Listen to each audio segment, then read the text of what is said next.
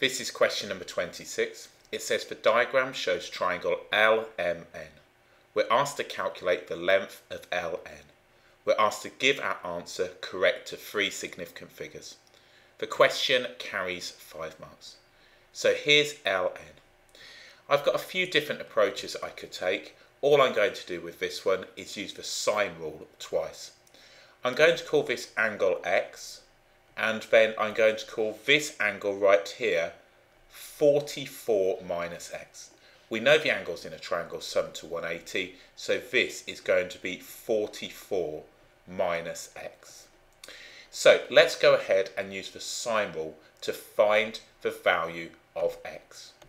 We can say now that the sine of x over 12.8 will be equal to the sine of 136 over 15.7.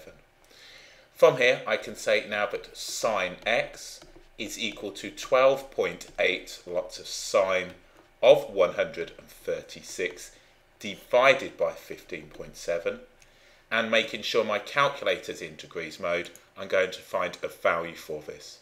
So shift mode 3 to put it in degrees mode and I'm going to do the inverse sine of 12.8 sine of 136 degrees. So just plugging this in the calculator, divided by the 15.7, that's going to now give me the value of x. We can see that that's going to be 34.9, uh, 34.495. So x is going to be equal to 34 0.49 dot dot dot dot and so on and so forth. Okay, that means this angle right here, writing this down, 44 minus x is going to be equal now to, so just working this out, 44 minus the answer is going to give me 9.50. So 9.50 dot dot dot. So what we're now going to do is go ahead and find this length right here. So what I can say then, and I'm going to say that this length right here, let's just go ahead and call that y. We could, if we wanted, call it ln. I'm just going to call it y. We can say now that y over the sine of this answer that I've got down here, which is the 9.50 stored in my calculator, 9.50 dot dot dot dot will be equal now to 15.7. So 15.7 over the sine of 136 degrees.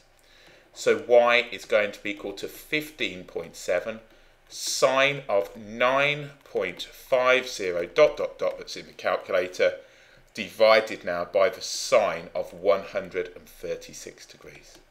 So all I'm doing is simply using this value twice. Lots of different approaches. You could use the cosine rule if you wanted as well. I'm just going to use this right here and just storing this in the calculator in case I make an error. I'm going to have now 15.7 sine of the answer, or if I want, I can just put shift store A or recall A and then divide this by the sine of 136 degrees.